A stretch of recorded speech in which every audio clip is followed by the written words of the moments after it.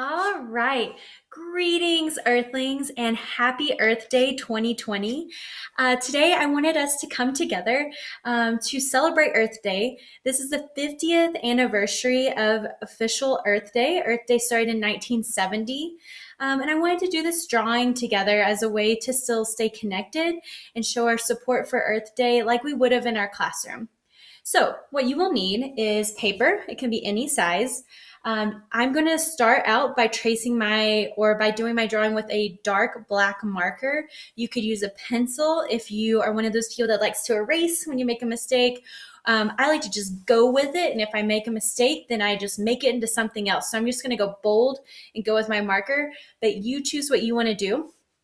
And then once we get our basic drawing done, we'll color it in. I'm going to use acrylic paint, um, just simple paint. Um, you could use crayons, you could use color pencils, you could use markers. It all works amazing. Uh, whatever colors you have available. So I'm going to make mine sort of realistic, but then maybe a little funky and switch up some colors for things. Um, so this is, remember, artwork and it is yours and you can express yourself however you want to. All right, so let's get started. Once you have your materials, um, we're going to draw a circle for the earth. Okay, so thinking about if this is your whole paper, this is kind of the middle line. I'm going to go over on the side of the middle and I'm going to draw a circle. Okay, remember that it doesn't have to be perfect. Okay, so this is my globe or the earth. The next thing I am going to do is I'm going to draw half a little rectangle here. So I'm starting to draw the spigot or where water is going to come out. So just so you can visualize what we're doing, we're going to have the earth, we're going to draw some land, a heart in the middle, and we're going to have a spigot here where water comes out of. And then we're going to have like two hands reaching up to grab the water.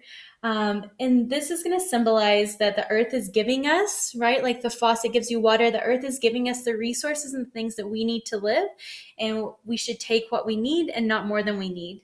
Um, we can talk more about the symbolism as we do our drawing.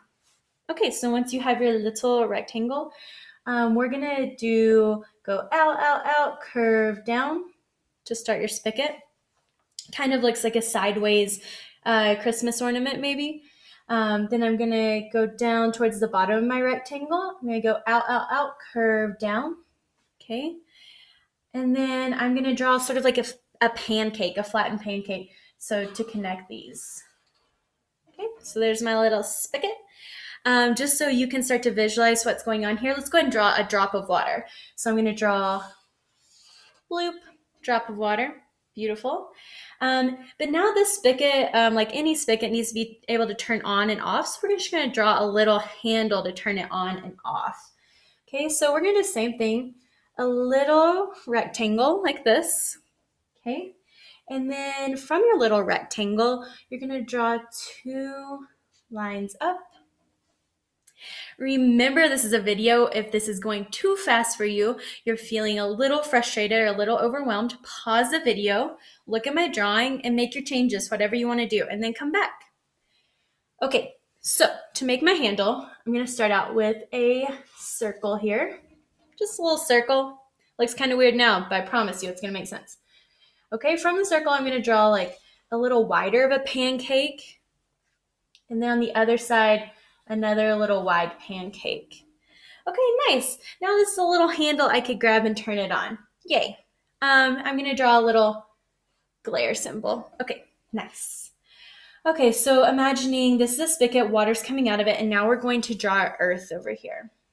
The first thing that I want to add onto our earth today is a heart. Um, I chose to do this because BVSD is doing an art sort of uh, not competition, but a way to get us all connected through art. And the theme is heart. So if you make artwork with a heart in it or any sort of heart theme, then BVSD wants to see it. So if you add your heart to this, you can upload it and send it in to BVSD um, as part of our like all staying connected through the heart through art. Okay, so heart work. okay, so I'm gonna draw a heart. Okay, and then just for a little extra detail, I'm going to draw another little heart inside this heart. So Bloop. There we go. Beautiful. Um, so now we have our earth with our heart. Um, let's add a little land to make it look a little more realistic. This doesn't have to be true. You don't have to actually trace a continent or anything like that. Let's just get creative, do some wiggles. Um, so I'm going to do some squiggles over here for my land. I bet some of you do not like this because you like it to be precise. If you want to do the precise continents where they are, go for it. I love that. Um, and then I'm going to do some squiggles at the bottom. Okay, I'm just going to connect this. There we go. All right, and let's just do one more over here on the side to sort of frame it in. Okay, nice. That looks pretty good. Um, so the next thing I want to do is you're going to draw the hands going up for some of you, this may be a good stopping place. Like you're like, that was hard. I feel good about my drawing and I want to stop and go ahead and color. So if you want to do that, go ahead. If you want to keep following me, let's do it. So the first thing I'm going to draw is two arms. So I'm going to go arm, arm, little skinny arm. I'm going to go on the other side of my drop here and go arm, arm. Okay. Um, it's okay if they aren't even right now, and you will see why. Okay, so the next thing we're gonna do is connect hands to the arms. So that looks a little funny, but if you can look at my hand, you can see how it goes out, and I can see a little bloop for my thumb, okay? So it's kind of a strange angle to draw your hand at, but that's what we're gonna do. So let's uh, start by going out. Okay, that's the outside of your hand. And then we're just gonna come back in just a little half line. Okay, stop there. Go back to the other side of your arm. I'm gonna go up a little bit and we're gonna make a little thumb there. Okay, so this looks like a mitten and I think that's okay. If you wanna draw little fingers, then go for it. Um, I'm gonna leave mine as mitten hands. Okay, so same thing on the other side. Let's start on this outside line and we're gonna go up and back down and stop. Okay. Now we're going to start on this inside line. Do the same thing. Go up and make your little thumb. Nice. It's lovely. So it's like the hands are taking the water and letting it go over them because we are taking resources or things that the earth gives us. Um, and this is a way of, I like this like reaching up, like we're showing that we're really grateful and we're thankful for the things that the earth is giving us and the things that we give each other. Okay, so all these drops that come out of the earth they're all the things that we take from the earth become the ocean. So what I want to do is we're going to draw an ocean down here. You can do that by just drawing a line to connect here, right? And then a line to connect here. Okay, I'm going to draw a couple more lines for waves. Okay, there we go. So this is really just be creative as you want to be right now. Um, let's do a couple little squigs over here. Okay. Okay, I think that looks like a pretty good ocean. It's a little uh, wavy because um, the drops are coming in. So now we're at a good place and we are ready to color our drawing. So um, go ahead and get your coloring materials ready. Uh, let's start out and let's color this uh, ocean part here. So get a good blue ready. Okay. So I would say don't ever do what I'm doing and paint in white pants. But you know, I like to say if your pants get paint on them, then they become paint pants. And then I love that. Okay, so I'm going to just use a dark blue or a royal sort of blue. And I'm just going to paint in my ocean.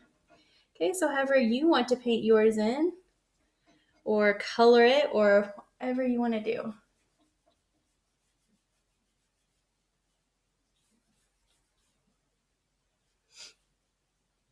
So I'm excited to see, um, especially if you're in my class, I'm excited to see your drawing, and I would love for you to upload it to our Google Classroom so that we can sort of compare them.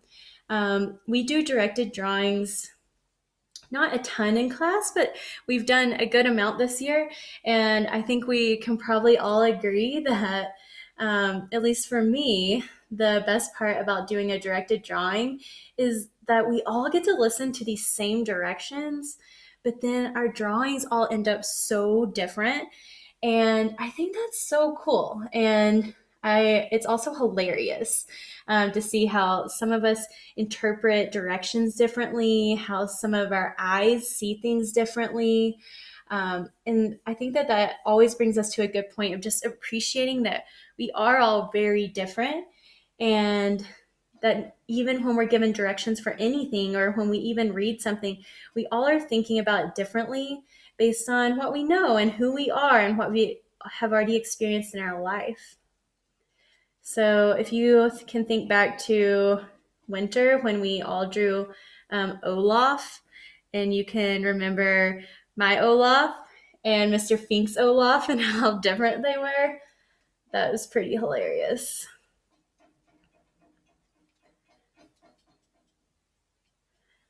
All right.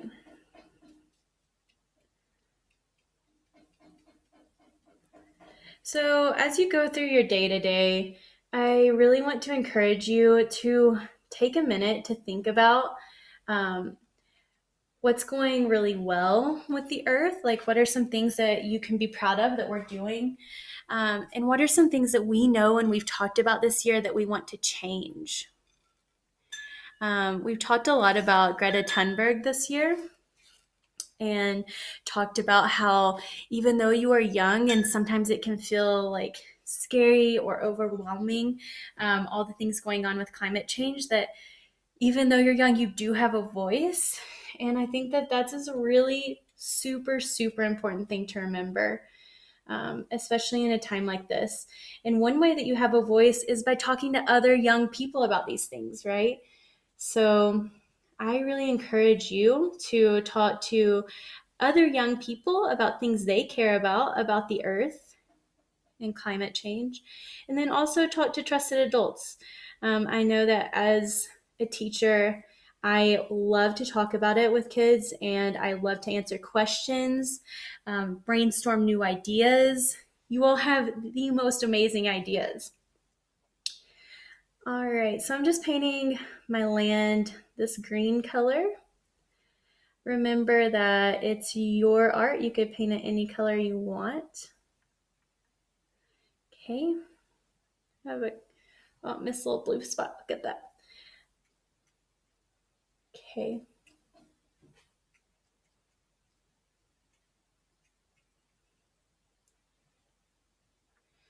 I hope you all are going to find some time today on this beautiful day to maybe get outside for a minute. That would be really nice. And I'm excited to talk to you um, after our reading lesson we did today and just think about how much we have changed since 1970, since the first Earth Day. Okay, so I think we're looking pretty good. How are you all feeling over there? Just gonna fill in that little space I missed before. There we go. Okay. So now the next thing, let's color the heart. Um, you can use any color. I'm to do red and a purple, sort of red on the outside, purple on the inside, um, but it's really up to you.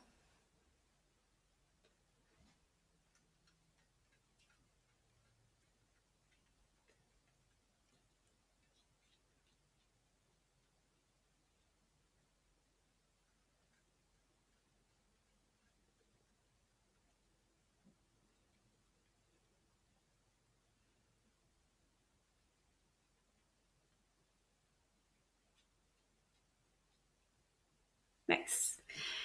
I bet that some of you can make really cool directed drawing videos like this that we could all follow too.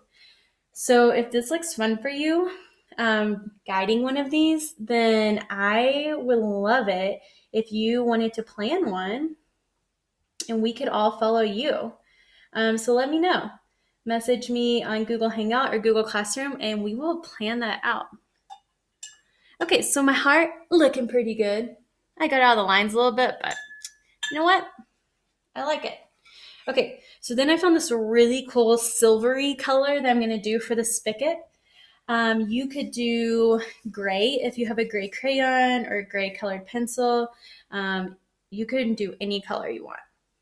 Okay, so that's what I'm gonna do is gray um, because I'm wanting this to look like metal. You probably can't see from the video, but this is a really cool metallic, like shiny color that I like to use a lot when I'm painting anything that's supposed to look like metal.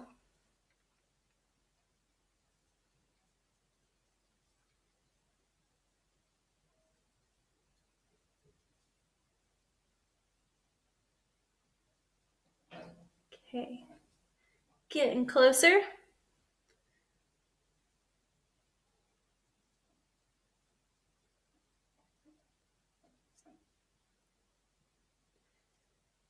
If you all are doing anything else exciting for Earth Day, I would love to hear about that.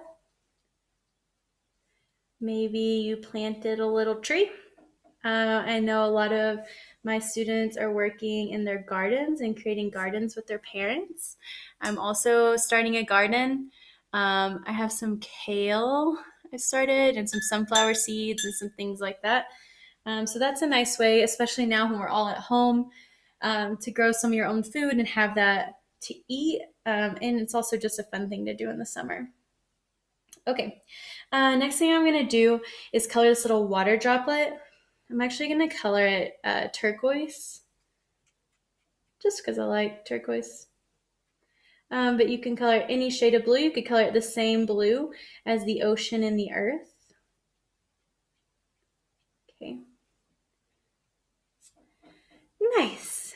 And then what I'm going to do, I'm going to take the same color turquoise and I'm kind of going to go over these contour lines or these wavy lines we already did.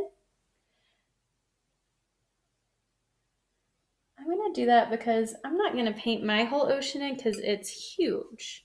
So I'm just going to add some color to these lines. Nice. So right now you could color your whole ocean blue. You could do what I'm doing and paint with your waves to just give it some color.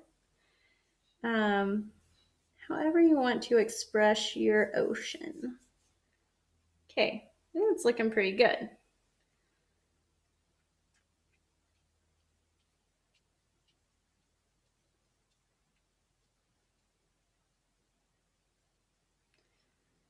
Okay, almost finished up with the ocean.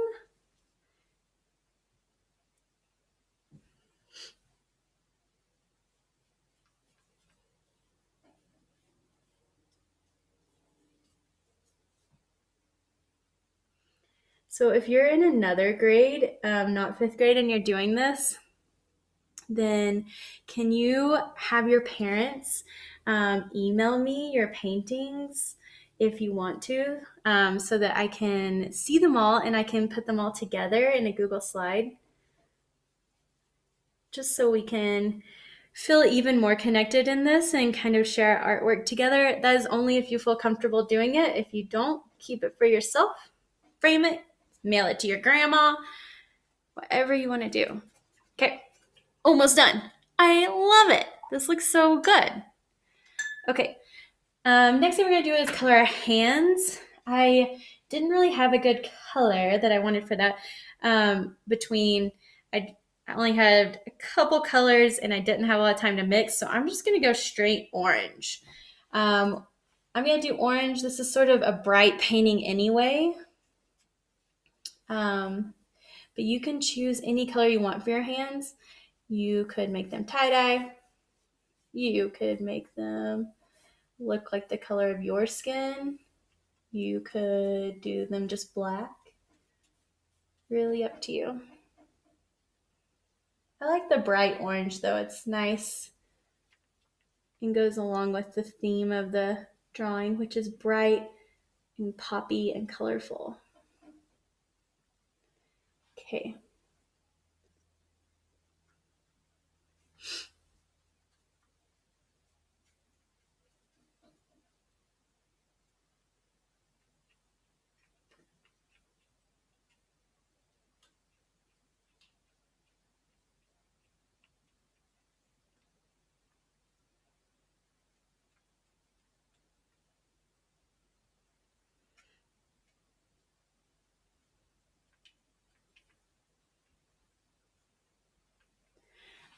Beautiful.